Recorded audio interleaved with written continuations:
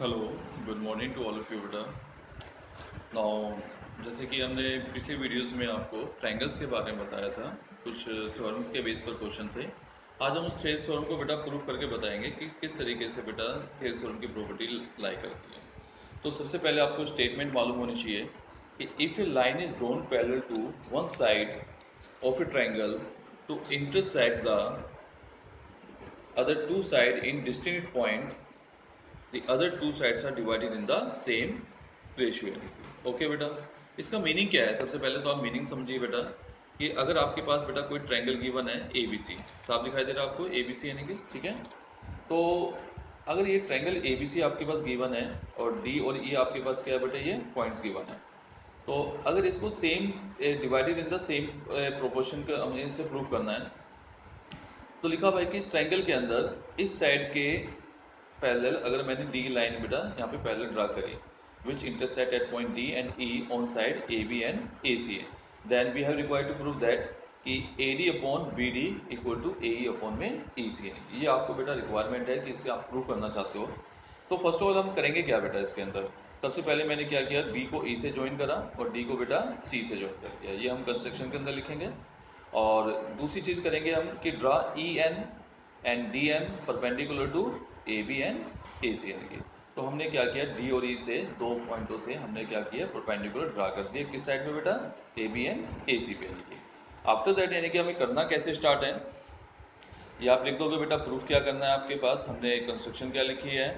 तो सबसे पहले हम यहाँ पे आ जाते हैं बेटा। Area of A D E क्या हो जाएगा बेटा? हाफ़ इंटू में ए डी इंटू में ई एन यानी कि।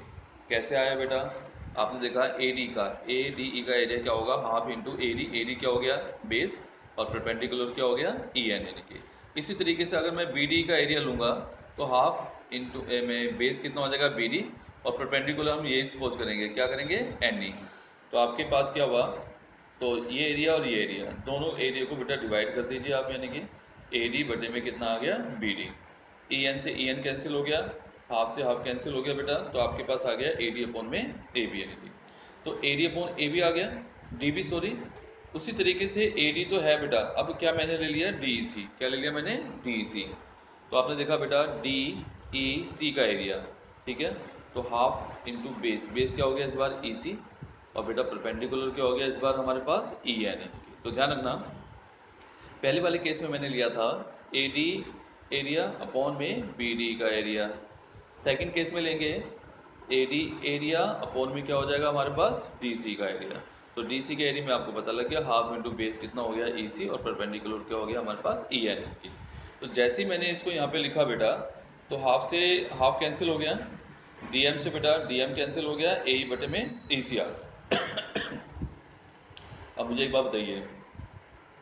A D A D upon D B और यहाँ पे क्या है? ए अपॉन ई सी आपको पता है कि जब भी दो ट्रायंगल सेम बेस पर और in between same parallel lines के बीच में बने होंगे तो उनका एरिया आपस में क्या होगा? इक्वल तो आपने देखा कि बेटा ए डी ऊपर वाली वैल्यू ऊपर वाली वैल्यू के इक्वल है। बी डी किसके बराबर है? डी सी क्यों? क्योंकि दोनों के दोनों ट्रायंगल बेटा एक ही बेस और in between same parallel lines के बीच में बने हुए हैं। देखना चाहते हो तो बेटा देखिए, आपके पास बी डी ई ये ट्रायंगल नज़र आ रहा है। उसके हिसाब से बेटा डी सी ई दोनों के दोनों ट्रायंगल बेटा एक ही बेस यानी कि डी और in between same parallel lines के पीछे बने हैं तो 100 परसेंट इन दोनों का एरिया क्या होगा आपस में इक्वल तो मुझे एक बताइए बेटा, जब नीचे वाला ट्रायंगल का एरिया नीचे वाले ट्रायंगल के एरिया के इक्वल हो गया और ऊपर वाला बेटा ऊपर वाले ऑलरेडी सेम दे रखा है that mean left hand side और ये वाली लेफ़्ट हैंड साइड इक्वल है तो हंड्रेड परसेंट क्या होगा बेटा? राइट राइट के इक्वल होगा. That mean A D upon क्या हो जाएगा बेटा हमारे पास? बी डी इक्वल टू क्या हो जाएगा? ए अपॉन में ई सी यानी तो इस तरीके से हमारे पास आइडेंटिटी पूरी हो गई A D upon D B equal to A upon में ई सी ओके